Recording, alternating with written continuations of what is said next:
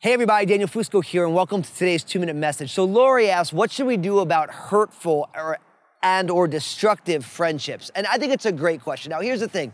God calls all of us to love and to even love our enemies. So we place that there first. But you got to realize that true love has boundaries. See, it does not honor God in the name of love for us to allow someone to hurt us or to be destructive for us. To, in the name of love, to have somebody sin against God, sin against you, sin against themselves, that's not love at all. That's the antithesis of love. So, real love has strong boundaries. This is what I would say. We should seek to love people and forgive them, but we should also seek to limit the access and the availability of someone to hurt us or be destructive in our place. I know that's a hard thing. Some people call that tough love.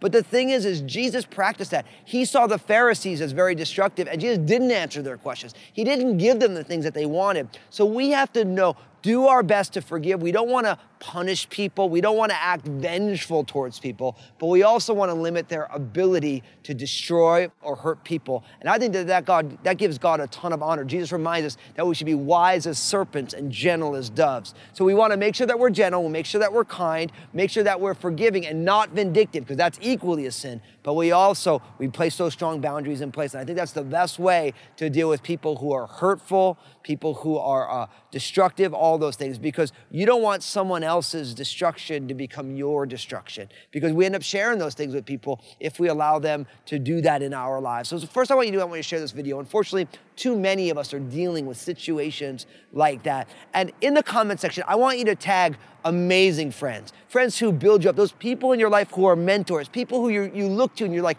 I'm so grateful. The antithesis of hurtful or destructive, but people who are amazing people in our lives so we can praise them and thank them for being who they are in our worlds. God bless you today.